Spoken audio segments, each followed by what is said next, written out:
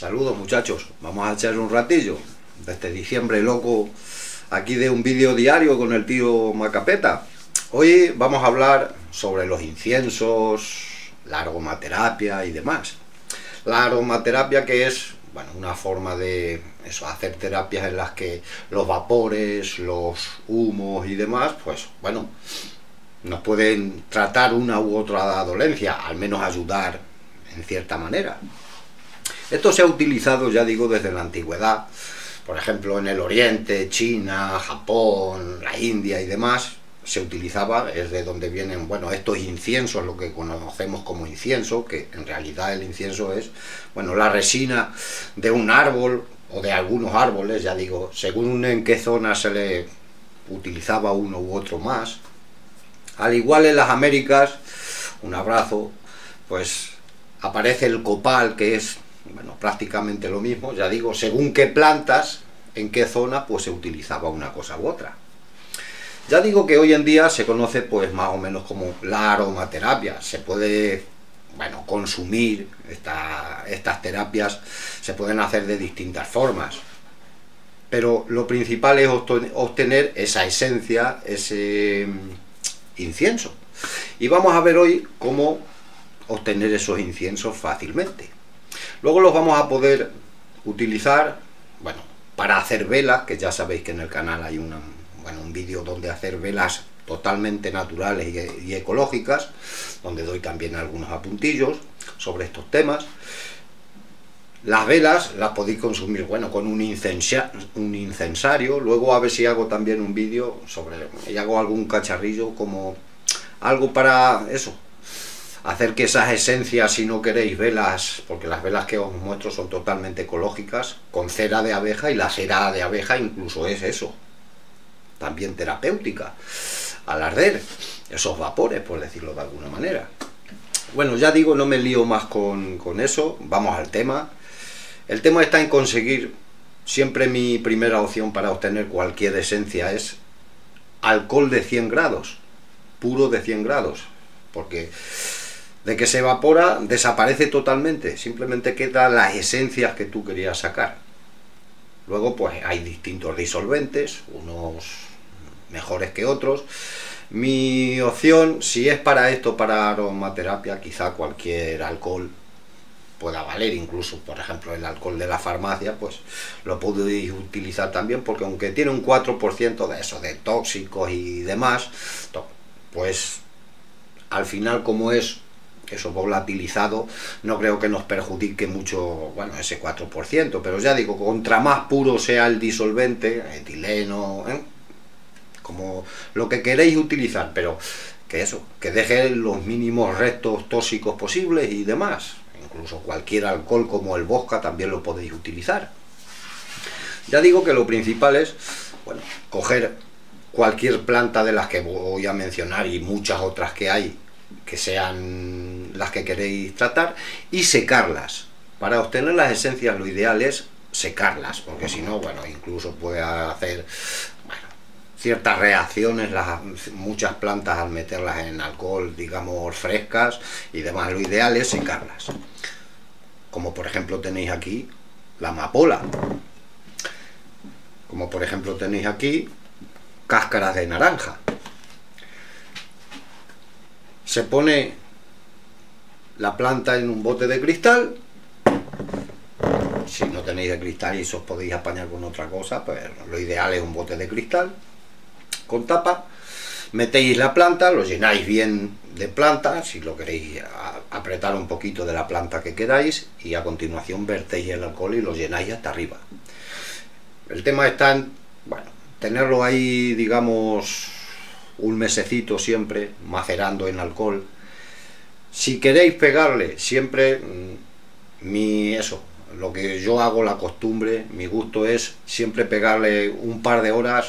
Procuro hacerlo siempre de que está la prima, la estufa encendida, lo tengo ahí unas horas encima, que tiene buena temperatura pero no excesiva calor, con un poquito el, bote que no esté eso apretado del todo, se vaya a escapar muy poquito, porque eso le queda muy poquito, pero para que no eso, para que no reviente con la calor, o pueda reventar. lo tenéis una hora en caliente y ya digo, y luego pues lo dejáis que se enfríe, de que se enfríe ya lo tapáis bien y lo ponéis en un sitio, eso, fresco y seco y oscuro y a esperar un mesecito al menos. Esas esencias, o sea, e, ese alcohol va a coger todas las esencias de la planta que le pongamos. Después de ese mes, colamos y estrujamos bien con un colador ese caldo con esa esencia, lo estrujamos bien incluso con un trapo, eso, con un... sabéis que hay trapos para, bueno, estrujar bien una planta de esas, cualquier planta con eso, para que eso suelte bien la sustancia, la esencia, lo vaciamos en un recipiente, que sea, procurar que sea, por ejemplo, como un, en tazones, que sean así redonditos, que no tengan, digamos, muchos rincones para luego apurar, se va a dar mejor lo dejáis en un sitio ventilado, preferentemente que no le dé el sol, pero bueno, a la sombrita y bien ventilado y esperar a que ese alcohol se evapore, ese disolvente que le hayáis puesto. Una vez se evapore del todo, va a quedar abajo como eso, como una crema. La mayoría de las veces va a ser una, una eso, como si fuera pasta de dientes, pero más pegajosa. Y casi siempre va a ser oscura. Pero bueno, depende también un poco de las plantas. Ya tenemos ahí el incienso, la esencia. Eso es la esencia de cualquier planta, ya digo. Secáis cualquier planta, la ponéis. Luego, la opción de calentarlo viene bien, que es por lo que lo hago, porque con ciertas plantas, hay muchas plantas que necesitan una temperatura, digamos, para activar algunos componentes y demás. Entonces, es una forma de llevar ese paso ya hecho por si acaso y no le viene mal tampoco porque ya digo ese mm, calentón del alcohol le hace extraer esas horas un poquito mejor la esencia ya digo que ya tendríamos la esencia para bueno estos vídeos que estamos haciendo de ya sabéis para meditar para iniciación a los viajes astrales el mundo bueno, todo este mundillo que ya iremos viendo, pues vamos a, ver unas pocas plantas que nos van a venir bien para ese ambiente, por decirlo de alguna manera. Por ejemplo, la lavanda, esta es la lavanda, la manzanilla, a ver que, que no tengo los tengo los botes, aquí la tenéis, lavanda, la manzanilla, naranja y mandarina. En realidad, sí, esta es, las cáscaras estas son de mandarina, no son de naranja, lo he sacado. Y estas plantas, por ejemplo, nos van a ayudar a relajarnos. Hay muchas plantas también que podemos utilizar, como la melisa, la albahaca. Os muestro aquí unas poquitas para eso, para mejorar ese ambiente de relajación, incluso si le queréis dar un puntito más de eso, al ambiente, un poquito más de eso, de relajación, que sea el ambiente mucho más penetrante en esa relajación, digo, para intentar hacer unos poquitos viajes astrales a nuestra manera o la forma de entenderlos que, que vayamos exponiendo para meditación y demás, pues, bueno, por ejemplo eso, la amapola, la amapola vulgar, sabéis que os hablo de la amapola esta roja que se cría en cualquier parte en el campo, esa amapola en, los sembrados de cereales, bueno, antes más, hoy en día ya pues menos. Ya digo, para, para hacer el ambiente un poco más penetrante, el jengibre o el anís. Estas plantas nos van a ayudar a eso, a tranquilizarnos, a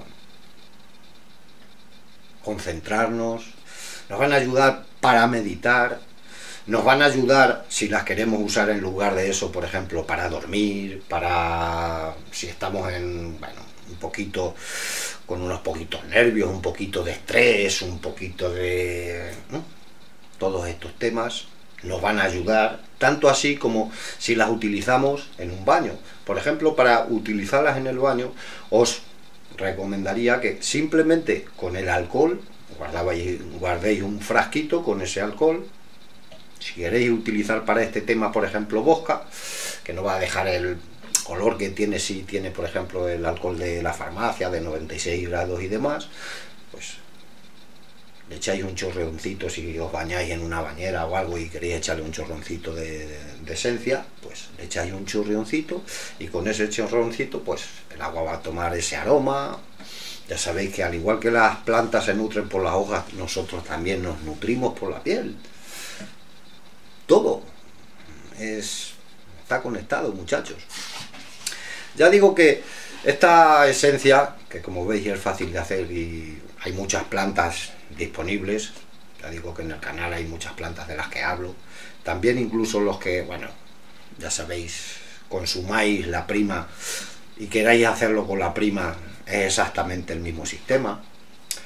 Eh, ya digo que lo podéis consumir, por ejemplo, yendo al, al vídeo que tengo, luego si me acuerdo a ver si pongo aquí el enlace y si no, bueno, siempre al final de los vídeos pongo la lista de reproducción más representativa. Por ejemplo, en estos vídeos de autosuficiencia, pues pongo esa lista de reproducción de autosuficiencia que tiene casi 200 vídeos. Ahí está como hacer velas totalmente naturales y ecológicas, ya digo, con cera de abeja, bueno, doy ahí unas explicaciones también, un poquito todo este tema. Y ya digo, pues en principio ese esa esencia la podéis gastar para esas velas. Luego a ver si os muestro por ahí o hago algún inventillo para que veáis otra forma de eso, de incendiar los inciensos, por decirlo de alguna manera. Y bueno, muchachos, yo creo que ya no nos vamos a liar más. Hemos visto aquí algunas plantas, ya digo, hay muchas plantas relajantes, podríamos utilizar la fumaria, podríamos utilizar la albahaca, podríamos utilizar la melisa, muchas plantas que son relajantes, pues en la aromaterapia, cada planta relajante, pues nos va a ayudar también. Que ponemos una planta que es especialmente buena para la piel, pues algo le dejará también esa esencia, ese baño que os hagáis relajante. Ya sabéis muchachos que en el canal hay muchísimos trucos, tutoriales, remedios caseros naturales, formas de cultivo totalmente ecológicas y naturales, trucos de todo tipo en esa lista de reproducción de eso, autosuficiencia, ahora se llama mi profesora naturaleza, sabéis que le voy cambiando eso, los nombres a la lista de reproducción y a los vídeos, pues, yo que sé, es una cosa, una manía, una costumbre que, como un hobby. bueno muchachos, creo que ya no me voy a liar más. Eh, como siempre os digo, ya hemos echado un ratillo, se acercan las navidades. Seguimos con estos con este diciembre loco de un vídeo diario y como siempre os cuento, pues eso, que somos uno, que soy otro tú.